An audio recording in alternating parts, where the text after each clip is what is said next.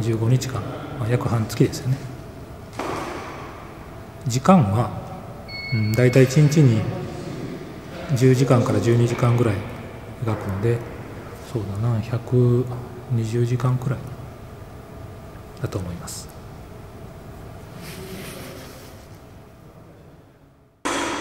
今日時点でちょうど200キロぐらいじゃないかなと思うんですよね。ちょっとまだはっきり測ってないんだけども。最終的には240キロから50キロぐらいで収まる、うん、予定です。塩を使っている理由はお塩が、えー、日本ではお葬式で使われているからです。でそれをなぜじゃあそのお葬式で使う塩を使っているかというと16年前に、えー、私の妹が脳腫瘍という頭のがんで、えー、亡くなったんですけど彼女の死っていうものをどんなふうに自分が、うん、受け入れてそれを乗り越えていけばいいのかでそれを、まあ、解決するために人が死ぬということの周りにあるいろんな出来事を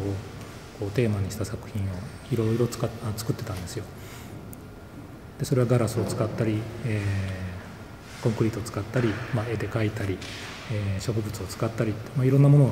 使ってはいたんだけどお葬式っていうことをテーマにした時テーマにしようと思った時にあ塩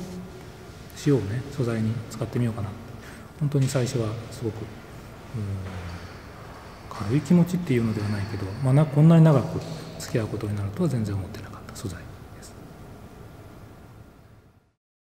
今回も行う予定になってるんですけど展示が終わったあ後にそこに来てくださった皆さんと一緒に作品を壊してでそれを一握りずつ持って帰っていただいて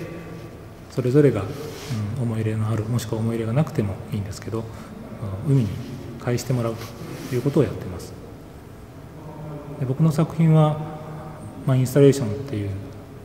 携帯を取っているので展覧会が終わったらなくなってしまうんだけどもでもその塩がね海に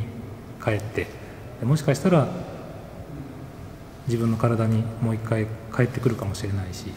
えー、それこそ天ぷら食べたと食べる時にちょちょっとつけて帰ってくるかもしれないしもしかしたら自分が次に作る作品の素材として戻ってきてくれるかもしれないしなんかそういう作品という形はなくなってしまうけどどこかでまた巡り会えたらいいなというふうな思いでやってます。